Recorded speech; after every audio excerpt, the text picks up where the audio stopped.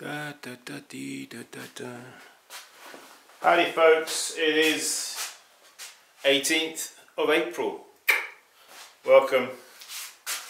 Yeah, I've not been not been doing many videos just lately, just been out of the, out of the routine, you know what I mean. But here we are, you know, I'm here in the studio, I'm sort of just tinkering around. What am I doing? Um, basically I'm getting ready for firing. Um, yeah, I've got mugs, mugs over here. These are waiting to be banded and decorated. I've got these ones up here. This is a new style of tankard that I'm doing, just a slightly different design. It's a more of a bellied, a bellied design. Um, these ones I've halfway glazed down like that. They're raw, uh, raw glazed for once firing at cone 10 in reduction. For those of you who are not up to speed with what I'm doing, uh, so yeah, I'm just putting them here in this white glaze. And um, there's just a few here. I've just got to do on the on the inside only. Here's here's one of the mugs. This is the shape this one has a, a roller stamp uh, detail on the bottom as well as a stamp at the base of the handle there. It's just a little detail, you know, a little decorative feature. These are thrown um, same weight as my usual other tankards, the sort of uh, more slender version, uh, 15 ounces, and they're thrown to about five, five, just a bit over five inches, about five and, not quite five and three quarters, but between five and three quarters and five and a half. Okay? Because I know someone will ask, Simon, what weight are those? So, yeah, the routine with raw glazing is, what I do is I glaze first the inside. That's the thing about raw glazing, it's a two-part process and then we, we pour out like that. This is the inside only. And now I'm just spraying some water over the outside okay? That's just to equalize out the the difference between the inside and the outside of the pot from a humidity from a water content point of view. And that's because if you've got a lot of moisture on the inside on a raw pot this is. Just higher probability of cracking occurring when you pour a wet glaze on the inside and the outside of the piece is still is still dry you see.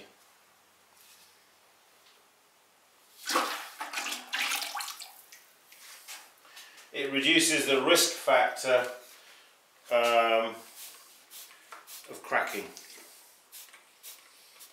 and that's what you have to watch out for with raw glazing. Uh, the, the expansion of the piece due to the water content can cause cracking.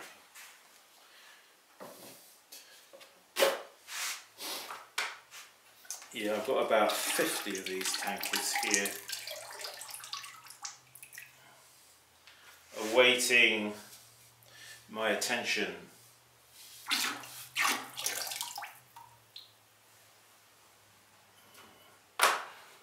just missed a bit on that one. If you miss, just be quick, quickly put a little bit more glaze in and and swoosh it out where you missed. Don't panic. Now, I'll show you this. Because of that clumsiness, you see what's happened here. Now, if that happens, don't panic. No need to panic okay because you can these are going to be glazed over the lip anyway. So that little bit of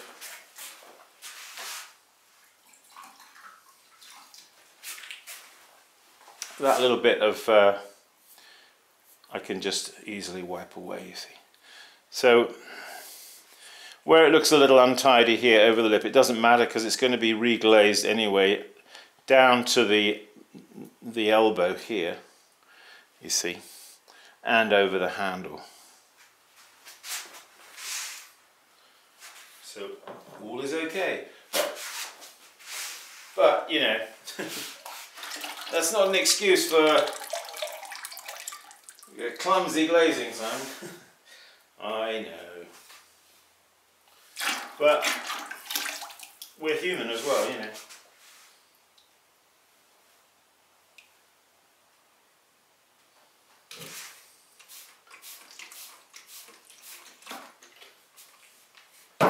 Think we're still human.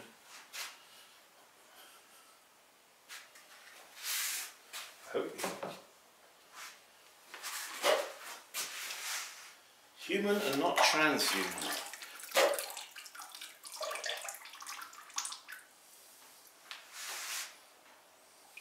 I'm not implanted with chips to augment my humanity. No. I am fearfully and wonderfully made. I don't need augmentation. Okay. So there, you know, just do you see what I'm doing here? A little this kind of thing, uh, uh, uh, a little, a little of that. You see, just to get excess drippage away. Okay, so that's the last of those. So let's see, where can I put these? Can get a bit crowded, you know, on the works work table. Just put them over there for now. So what next? Oh yeah, those guys over there. That now those are the same as what you've just seen me doing. Um, I need to.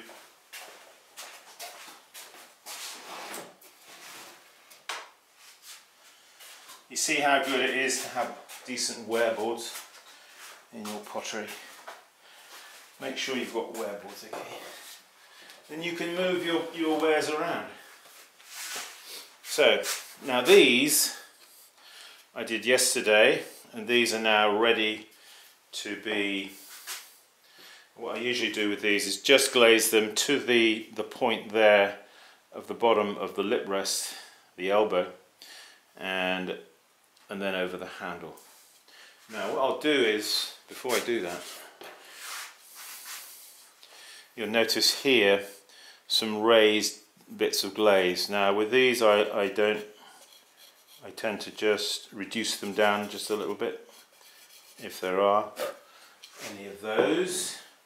So you just want to have a look, alright, before you commit to glaze. Just, just if there's any kind of because basically you see you've got glaze there on the lip already so if I'm going to dip it again, I'm going to get a double thickness, you see.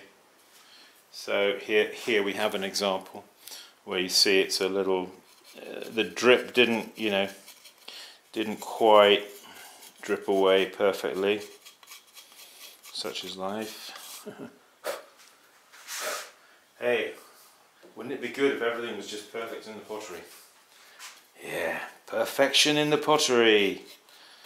Gosh no cracks, no no drips, no warps, no crawling of glaze, nothing, everything perfect. Oh, that would be good, wouldn't it? Not quite like that, is it? It's a bit like us, we're all cracked pots, aren't we? Yep, we are all cracked pots. Okay. Now, Nice one.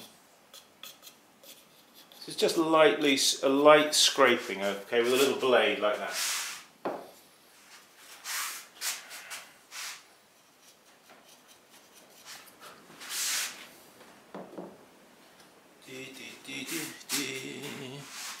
See that one there? Well, that guy, we, we, we want to just and what you can do is you can do that and you can, just like that. A little light rubbing.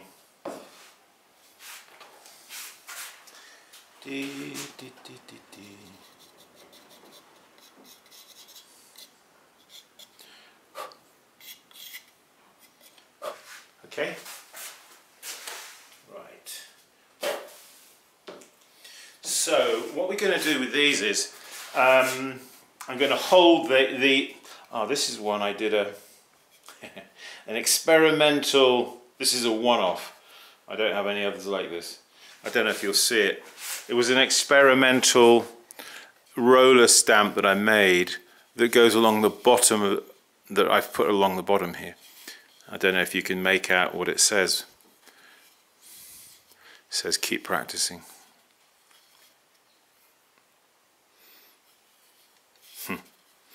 Yeah, we're gonna do some. I'm gonna do some more of those. We're gonna have some keep practicing mugs to inspire people to keep practicing. Yes, sir. So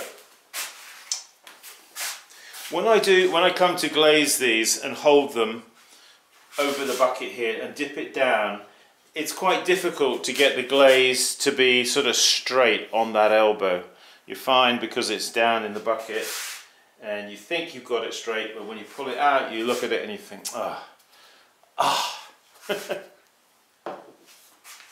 so I've got, I've got a little thing to show you.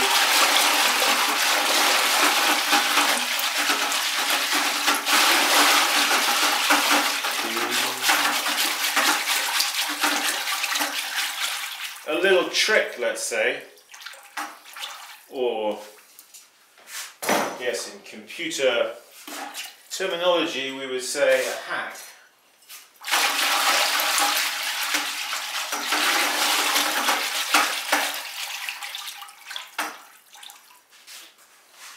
Call it what you like. A hack, a shortcut, a tip, a trick. So we're gonna we're gonna use one of these guys.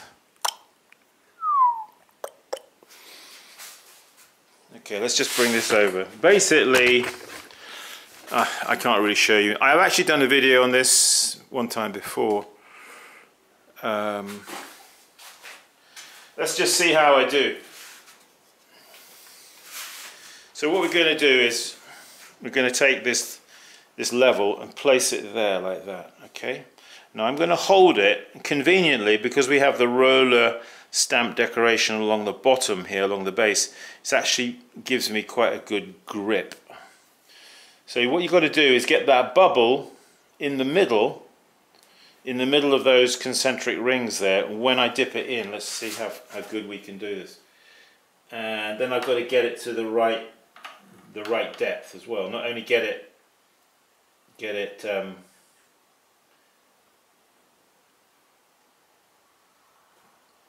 level but also get it to the right depth. Okay, I'm taking it out. Ah, I went too deep.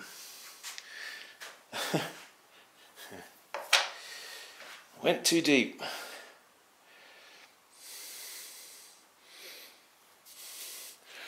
I didn't go, I went a little bit past where I wanted to go. It doesn't matter. Um, um,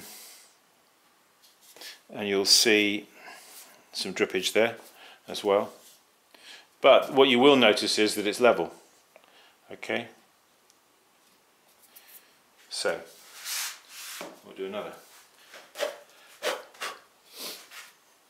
As always, it's a case of uh, it's a case of practice, isn't it? Yes, siree. Right, let's hold this and get that bubble in the middle. This time I'll try not to be quite so jumping off into the deep end.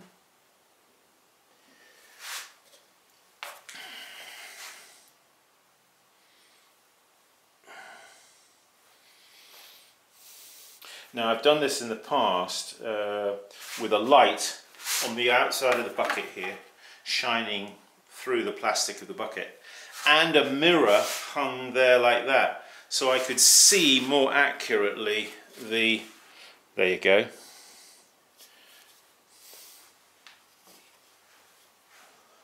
So there, when I went too deep, this one, and that one is, is better. Oh, I haven't done the handle, have I? I'm supposed to do the handle. I'm supposed to do that, not afterwards, supposed to do it at the time, at the same time.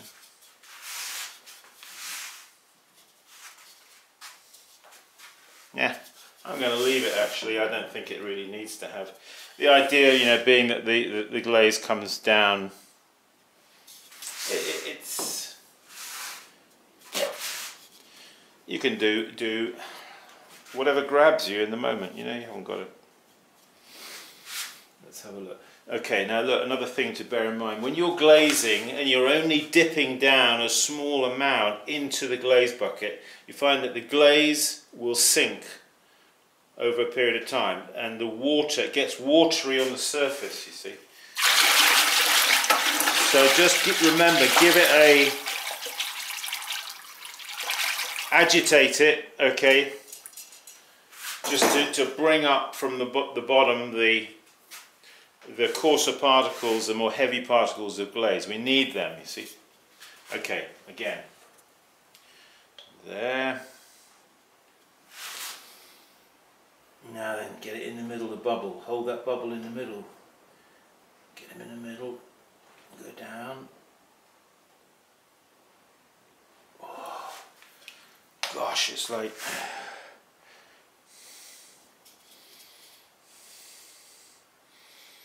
Yeah, I'm not going to even bother do that over the handle. I, I usually do, but today I just feel, yeah, we're just going to leave it. Keep it simple. Keep it simple. Here we go. Maybe I can get the, I'm going to be trying to be clever now, get the camera and sort of take you into the bucket with me. It might not be a good idea, but I'm going to do it anyway. I hope I don't drop the camera in.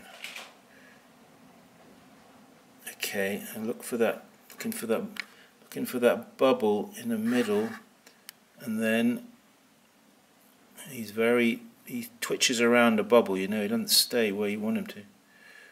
Ooh.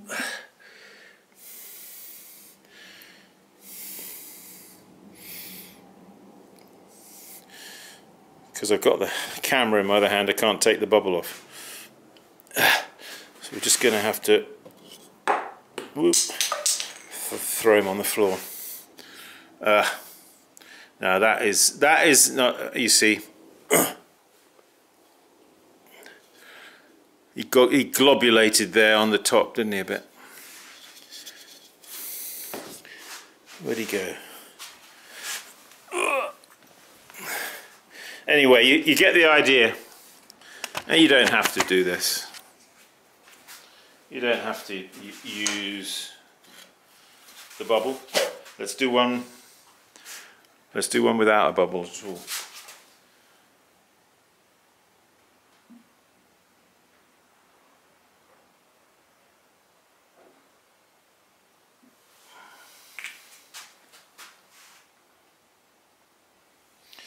I mean, I can probably do these without the bubble adequately well, but that one is okay.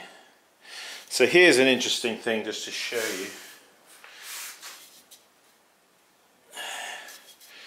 Um, yeah, I don't know if you can see it, but right there,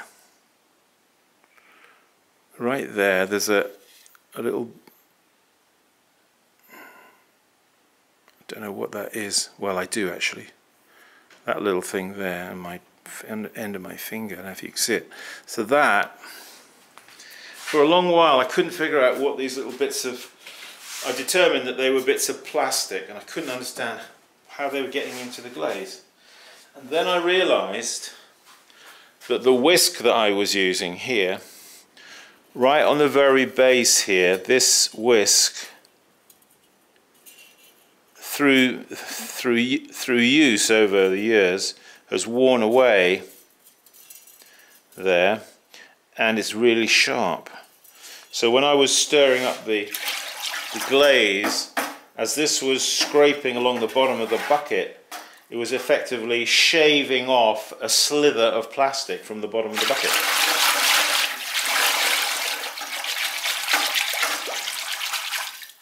And that was that was the the origin, the source of that contamination. Interesting. So just hold that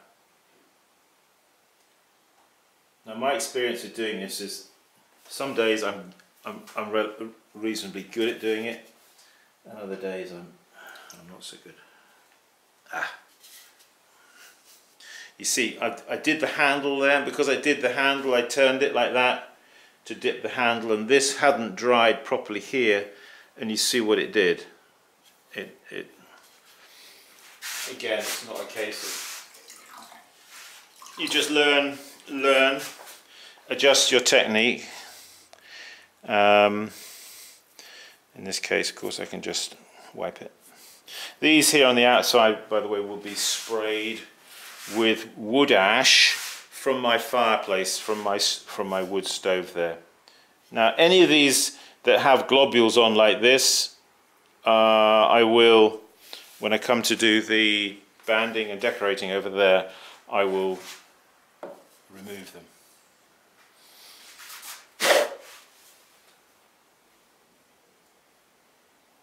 It's better not to have to do that, but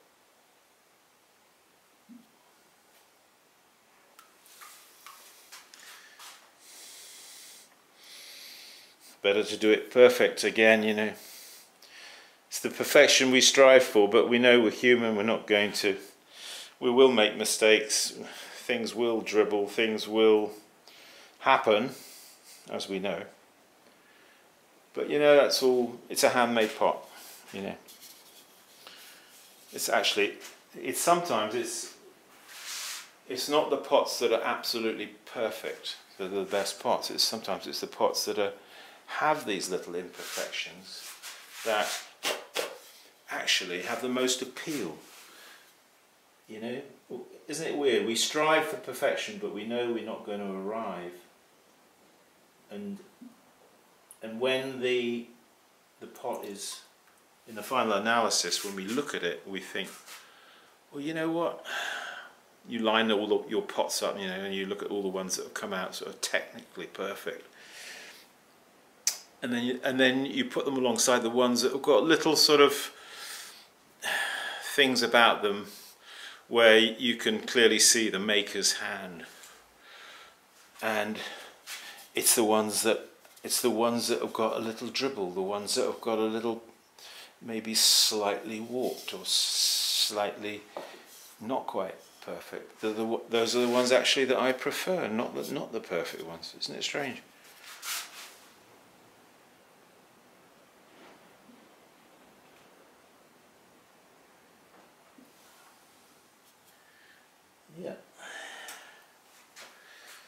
But as they say, or let's say it has been said, whether they, whoever said it, there is beauty in irregularity.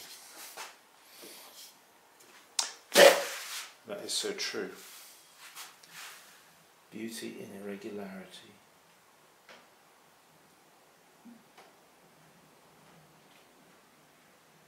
I guess that's why we like nature because nature is, is beautiful because of its irregularity. No two blades of grass are the same. No two branches of a tree are the same. No two clouds are the same. No two ploughed fields are the same. So, got to keep these things in mind. Now then.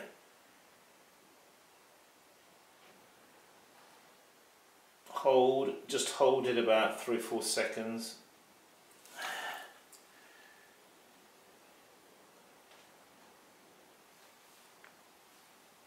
Da, da, da, well, folks. Oh, now look at that one. You see, when I, I did that, I dipped the handle, I didn't get that quite right. That's okay. We'll look at it and we'll analyze it and then we'll a bit of that plastic again. A bit of that plastic. The bottom of my bucket. Hey, thanks for joining us, folks. Again, here in the pottery, it's much the same as we've done in the past. I guess every video is a bit different. Go to my website, simonleachpottery.com, see if there's anything you like there. We do sell tools. There are pots and tankards and odds and odds and sods, bits and pieces. Check them out. Uh, we do run workshops here. We have workshop schedule on my uh, website there. Check that out. Um, yeah, uh, workshops are filling up. We've got spaces. We're running a workshop this coming weekend, and then generally like one a month. Um, so uh, May, June, July, August, September, right through till November. So yeah, I'm also taking orders on finished finished Leach treadle wheels like the one under that plastic there. You've seen them, you know what they are. Uh, if you're interested in a finished one for pickup only, I'm not shipping them anymore. That's what I've done now. I've just decided not to ship. Okay folks, so there it is. Whoops. Thanks for joining me as always. Keep practicing. Build your muscle memory. in your fingers and arms. That's what it's all about. Uh, eye, eye, hand, coordination, and building muscle memory. Okay? All right. Hey, take care. See you in the next video. Bye for now.